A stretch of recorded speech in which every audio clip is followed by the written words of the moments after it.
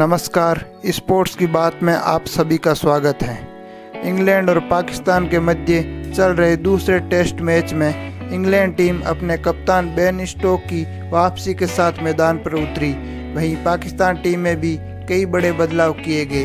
बाबर आज़म, नसीम शाह सहिंसा अफरीदी जैसे बड़े खिलाड़ियों को इस मैच से बाहर रखा गया और पाकिस्तान की ओर से कई नए लड़कों को मौका दिया गया।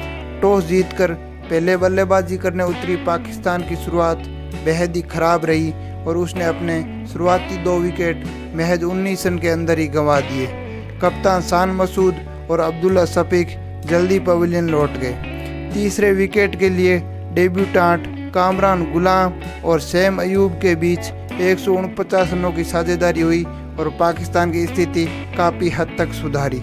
सैम अयूब सतहत्तर रन बनाकर आउट हुए लेकिन कामरान गुलाम ने एक छोर संभाले रखा।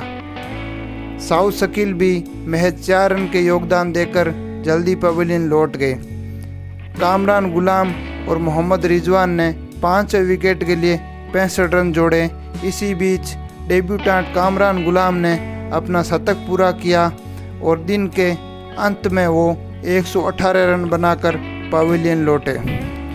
पाकिस्तान की ओर से आगा सलमान और मोहम्मद रिजवान क्रीज पर हैं। रिजवान सैंतीस रन बनाकर नॉट आउट है। वहीं आगा सलमान पाँच रन बनाकर नॉट आउट हैं। इंग्लैंड की ओर से मैथ्यू पोर्ट्स, ब्रेडम केयर्स सोए बशीर को एक एक विकेट मिला। वहीं जैक लीच को दो सफलताएँ प्राप्त हुई। पहले दिन की समाप्ति पर पाकिस्तान का स्कोर दो रन पर पाँच विकेट है। वीडियो अच्छा लगा हो तो लाइक ज़रूर कर देना। और अगर आपने हमारे चैनल को अभी तक सब्सक्राइब नहीं किया है तो सब्सक्राइब ज़रूर कर लेना। जय हिंद, जय भारत।